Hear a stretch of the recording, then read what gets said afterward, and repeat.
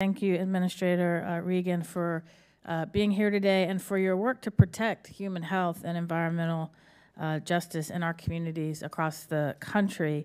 Um, It is my fundamental belief that everyone, regardless of zip code, socioeconomic status, race, uh, deserve to breathe clean air, drink clean water, um, and to that end, the work that the EPA and the Biden Harris administration are doing for environmental justice is critically important um, because business community has always had a seat at the table.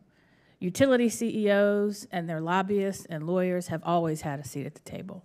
Who has not always had a seat at the table are the people in the communities where power plants go, where pipelines go, where often they destroy communities um, they destroy historically black or, or indigenous communities, um, or they're concentrated in communities where people don't have a voice.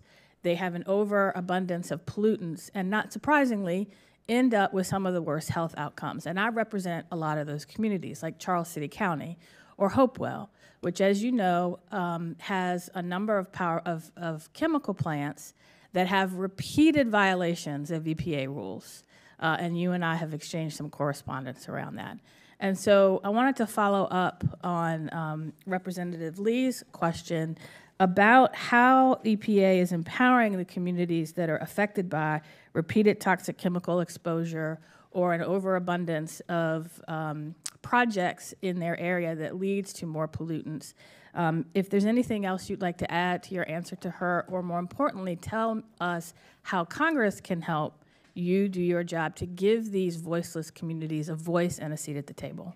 Well, thank you for that. And I can say that Congress has done an excellent job in the Inflation Reduction Act, awarding $3 billion for environmental justice projects.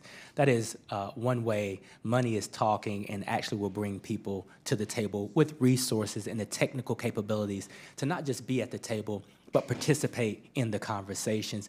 Listen, I've said from day one, that EPA will use its full enforcement authority where we see people cheating and violating, especially in these communities that are disproportionately impacted. I think we have a track record that represents that. I've also done a Journey to Justice tour to highlight for the nation that in 2023, we still have communities that have a lack of access to clean drinking water, disproportionately impacted by PM 2.5 and other pollutants.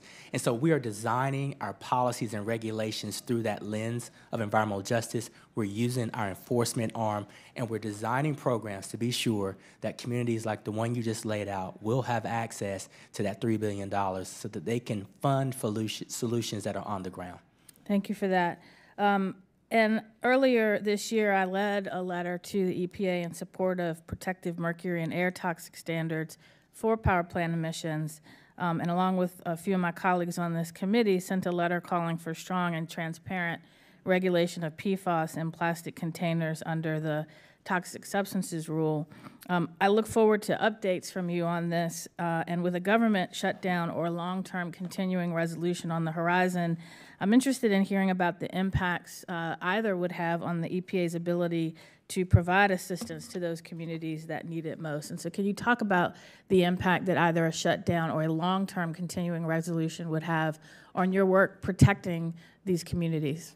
It, it continues to make uh, our communities vulnerable uh, if we don't have the uh, personnel on the job focused on community outreach, ensuring that these communities are competitive for grants, ensuring that they have a seat at the table as we think through how to design regulations, it continues to disproportionately impact those who are already burdened. So a, a shutdown uh, doesn't do our economy any good, doesn't do any of us any good, but it especially disproportionately harms those who are on the front lines of pollution.